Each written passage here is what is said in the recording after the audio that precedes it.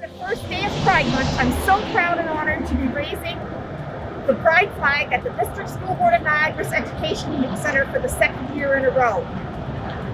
Raising this flag and celebrating Pride Month is important to the District School Board of Niagara because we believe strongly in showing our support for LGBTQ plus students and larger LGBT community in Niagara.